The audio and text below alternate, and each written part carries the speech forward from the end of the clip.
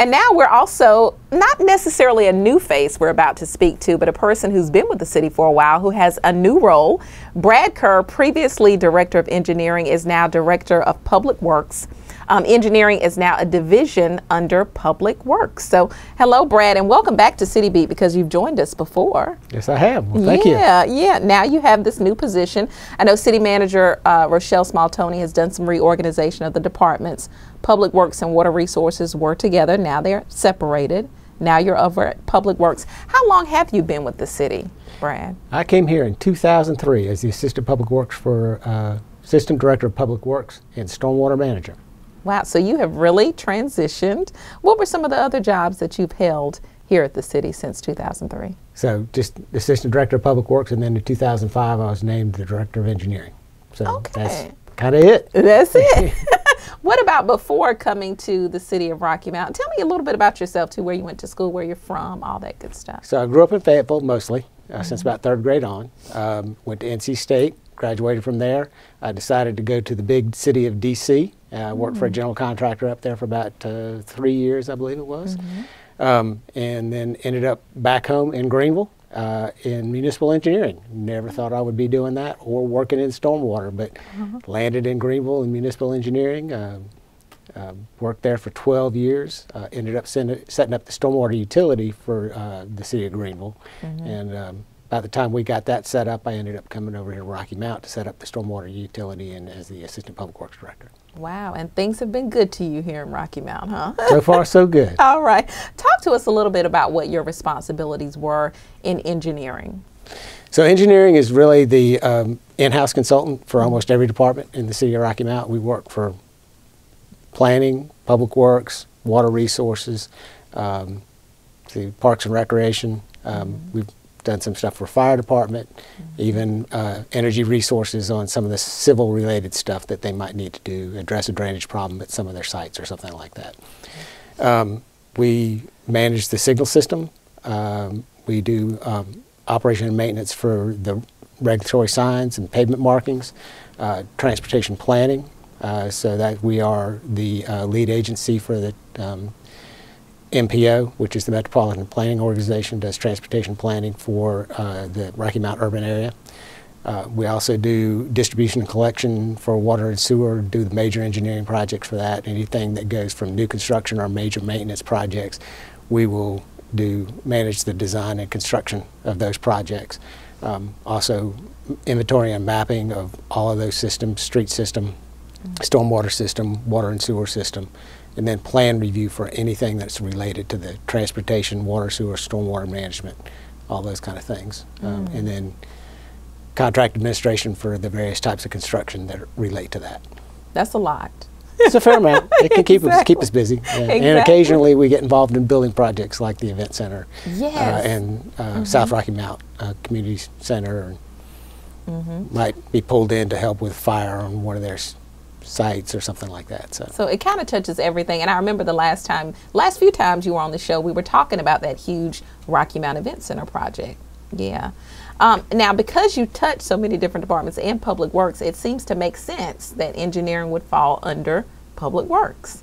Yeah, it's not an unusual organizational structure. Uh, in fact, in Greenville, that's exactly the way we're. Engineering was a division of the Public Works Department and housed many of the same divisions that we have in Public Works now. Okay. Public works, I know, is a huge department. How many employees will you be overseeing now? I think we have about 165 uh, in six divisions. So we have what we call an engineering design, transportation engineering, transit, um, and now we have street maintenance and street and streets and stormwater division, um, environmental services and fleet maintenance. Okay. So now you'll be over all of the overseeing all of those divisions pretty much.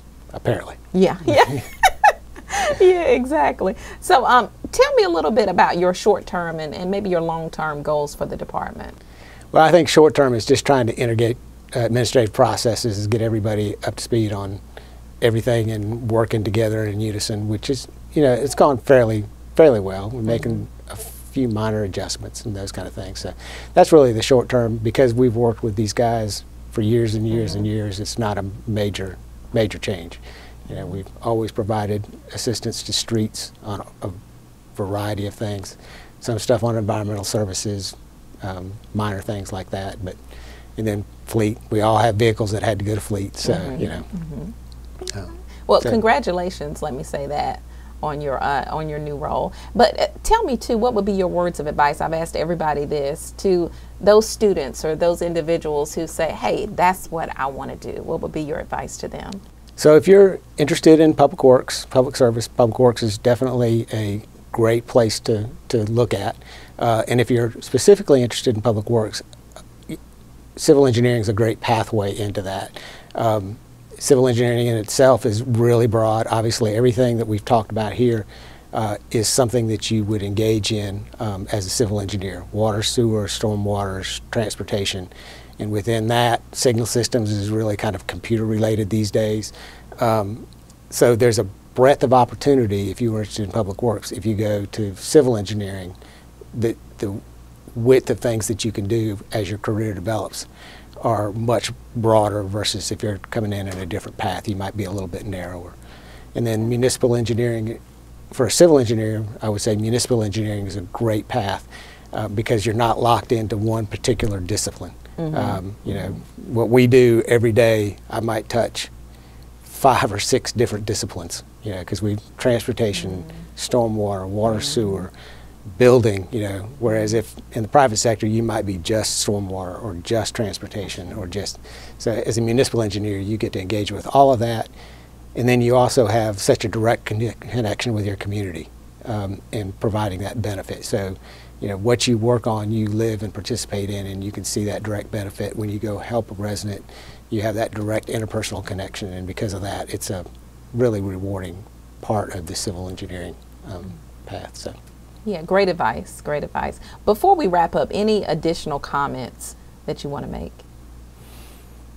No, just come to Rocky Mount. We got great things happening here, right? Center of it all. Exactly, Yeah. exactly. I love it. You were the second person to use that tagline. Thanks, Brad, for joining us on City Beat again, okay? Well, thank you. All right. Thank you for tuning in as well. When we come back, you'll have an opportunity to meet Brenton Bent, our new Director of Water Resources. You're watching City Beat. Maria, so how's work? It was fourth period biology. Our students just weren't getting how easily viruses spread. So Miss Bell and I had them role play a zombie virus outbreak. By the time they had all learned the lesson, all the living were dead. Hey, how's your job going? That big sales meeting I planned? Next year. I might get to go. Cool. Hello, and thanks for tuning in to another edition of City Beat. And we're talking about City Manager Rochelle Small Toney's reorganization of some key departments within the City of Rocky Mount. And one of those departments is Public Works and Water Resources, which are now two separate departments. And joining me right now, we have Brenton Bent, the Director of Water Resources. So, hello, and welcome back to City Beat, might I add, because you've been on the show before. Thank you very much, Tamika. Thank you very much for having me. I'm delighted to be here, and I bring greetings to the citizens and our customers in Rocky Mount, and blessings too. Yes, you've been on the show before, but not as a director. So now you are director of water resources. So congratulations. Well, thank you very much. I mm-hmm. am honored by the confidence that the manager has in me, and I am committed to doing the very best I can to move this department forward. Okay. Well, first, I wanted to give an opportunity to citizens to get to meet you, get to know you a little bit for those who don't. Tell me first a little bit about yourself. Well, first and foremost, I am from the beautiful Caribbean island of Jamaica. I attended high school there and I did my associate in laboratory technology at the University of Technology um, in Kingston. Um, I immigrated to the United States in 2002 and I must say Rocky Mount became my adopted home and I love it. Um, I pursued additional educational opportunities here in the United States, recogni- recognizing the need to have an American qualification. So I attended Nash Community College for my associate in business administration, and then I moved on to Wesleyan College. I did my bachelor's in um, business administration, and then I did a master's degree in management and leadership at Montreat College. Um, during my time with the city, I started as a lab tech I was grateful for the opportunity that this organization has offered me. Um, worked in the lab as a lab tech and then a supervisor. Mm-hmm. And um, then I transitioned to code enforcement, where I served as a community code supervisor for a couple of years. I really did relish that opportunity to serve in code enforcement because it brought me closer to the community. And um, from then, I, I was appointed assistant director, and I was responsible for the water um, treatment plant, the wastewater treatment plant, um, the technical services, well, now known as water quality services, and um, code enforcement. So uh, recently, with the restructuring of the department, I assumed the position of um, director. So again, I'm just I'm grateful for the opportunity and I'm committed to doing my best. So, Brenton, as Assistant Director of Water Resources, the transition I would imagine was natural for you, right? How, how, how did it feel being appointed director? Uh, it was natural. Um, I worked as the Assistant Director with responsibility for the water treatment plant, the wastewater treatment plant, and um, the Water Quality Services Division and Code Enforcement. As Director for Water Resources, what I have done is, or what the manager has uh, done in the restructuring, was to remove community code and put that in another department, and then I incorporate water and sewer. And so it's a natural fit because the entire water resources department is the, all the divisions within the department is so interconnected. We're making water, we're transporting that water through the distribution system into our customers' homes and businesses, and then we are collecting the wastewater from their homes and businesses and treating it at the wastewater plant. So it's a natural flow from treating, treatment to distribution to collection to treatment again. Mm-hmm. So uh, I enjoy, I'm enjoying what I do. You do because every time I talk to you, you're talking about water. You just love water. What motivated you? What got you into that field? Well, certainly, um, as a child growing up, and my in, my first exposure to chemistry mm-hmm. in high school, I have always been interested in the sciences, but in particular chemistry. And my first job in Jamaica was working with the government in the Ministry of Mining and Energy, and later with the Scientific Research Council. And during that time, as a lab technician, I was responsible for the collection of water samples from wells all across the island. So I was already into the mode of testing for different elements in water and see how they compare to different areas of the island based on the rock formation and what have you. But um, that interest in, wa in, in, water didn't just start yesterday or since I joined the city. I've been doing it from when I was in Jamaica and coming over here. And when I saw that job posting for a uh, lab technician in the water and wastewater treat at the water and wastewater treatment plant. I said, "This is indeed up my stream." Uh -huh. No pun uh -huh. intended. Exactly. So I, I went. I applied for that position and was fortunate enough. And then during my tenure here with the city, I've had the opportunity to really be exposed to um, how water is treated, how wastewater is treated, uh -huh. and it is just a fascinating process just to see how you can transition raw water from the river to drinking water and then drinking water becoming wastewater eventually, and how you can transition that wastewater back to water that's readily, that's even better than the quality that's already in the river as you put it back. Mm-hmm. And you've been with the department when they've won various awards as well, right? Because you've been here how long? I now? have been. I have been with the city since 2003. Okay. So that makes it 16 years. This past May, it's been 16 years since I've been working with the city. Mm-hmm. Um, the, the, wastewater treatment plant was recognized as an exceptional performing facility back in 2016. Mm-hmm. And so, um, with that designation, this, this, the state allows the city to go to reduce monitoring because this, the plant has done so well mm-hmm. that they, they would allow you to do less sampling throughout the week mm-hmm. um, to report. Mm-hmm. And so that's, that's just a wonderful designation to have, and it shows the commitment and dedication of the employees and the passion that they bring to the job every day. Exactly. So you're already doing well. What what would you say some of your goals are for the department? Well, we have to look at both long-term and short-term goals. Mm-hmm. In the short term, we are aware that we are we have aging infrastructure. Mm-hmm. So we have to address that. And thankfully, the council and our city manager is behind that effort. Mm-hmm. They have also recognized it, and the department is getting I- immense support for addressing aging infrastructure. Um, old pipelines that are not visible to the general public that have been in the ground for 40, 50, 60 years. Uh, we are we're talking about um, plant equipment that has also um, is close to the end of their use, youth, um, their useful life cycle. So with the effort from council and the manager, we are definitely addressing that in the short term. In the long term, we have to be prepared. we have to be prepared for changes. And when you talk about changes in the industry, you're talking about regulatory changes from both federal and state. So we also have to be mindful of what are some of those changes and, and how will it impact plant operation? Will we be meeting permit limits and all those kind of things? So we constantly have to be making sure that we are keeping up to date with all the the newer technology that will make sure that we are operating within permitted guidelines. Gotcha. And you know, before we wrap up, Brenton, I got to ask you, what words of advice would you offer to others who want to pursue a career like you have today? The, the thing I'll say to that is without the passion, you're not going to be successful in this position or in any position that in any career. Um, I think passion is, is a very important thing. I know you have a passion for what you do. And when you have that passion, then you'll go above and beyond to be prepared. And it is that level of preparation that, will that will eventually pay off.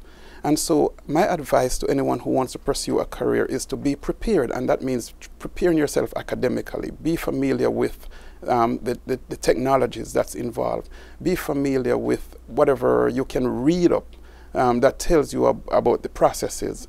Um, but at the same time, don't forget what you're here for. We're here to serve the citizens of Rocky Mount with good tasting water, and we are here to make sure that when they take their showers and they flush their toilets, that that water is treated in the appropriate manner um, before it goes back into the river. We have to protect the waters of the state.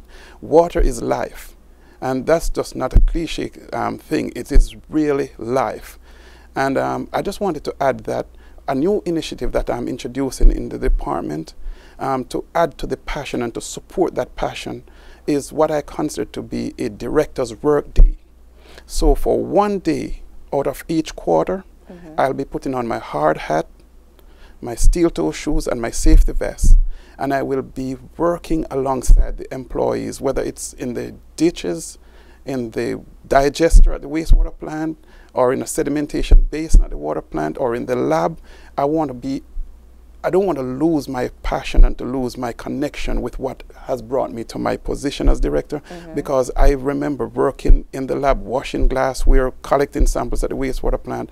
So I want to go back and do that one day out of each quarter. I will be making sure that I be um, shoulder to shoulder with the employees. It will give me an opportunity to bond with them, experience some of the challenges that they are experiencing, and to offer any kind of encouragement and advice, and to learn more of what makes them glow and what is bringing out the passion in them. Because I think that's important from a management perspective to always recognize who are the fighters, who are the boots on the ground, and what these folks are doing to make the city of Rocky Mount the better and best place to live. Remember, we are the center of it all. And we got to be prepared for all these industries that may be coming into town. We have capacity. We want them to come by and, and drop anchor here in Rocky Mount because it is where it all is happening right now. That is an excellent idea. It really is. So let me know when you do that. Maybe we can go get some footage of it too. Okay. Absolutely. All right. Well, I, what I would just want to say that I, I really am not doing this, Tamika, to be honest with you, for the publicity. The bigger issue is I want to be able to bond with Mm-hmm. the employees and let them recognize that they have my support and I need their support because without them, we don't we don't have nothing. If we don't have the employees to have that passion and not just doing this for their paycheck, because think of two o'clock in the morning when an, uh, an operator has to go down into a sewer line to, chain, to, to, to, to clean it because it's clogged up, to prevent raw sewage from backing up into a business. That takes passion. That's more than just a Mm-hmm. Paycheck.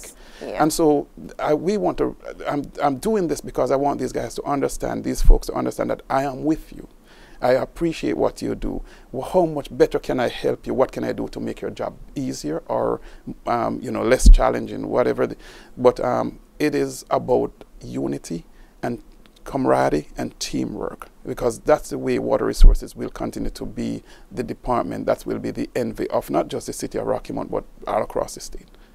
Wow. Well, congratulations. Well, thank you. I see why you're in the position you're in. So We're- congratulations. We're here to serve. Exactly. And thank you for being on the show today, okay? Uh, you're welcome. All right. Thank you for tuning in as well. Brenton Bent, our new Director of Water Resources. Thanks for tuning in to another edition of City Beat. And maybe in a few weeks we can sit with Brenton and understand the water process from beginning to end, if that's okay with Absolutely. you. All right. Absolutely. Thank you for tuning in. I'm your host, Tamika Keenan Norman. You're watching City Beat.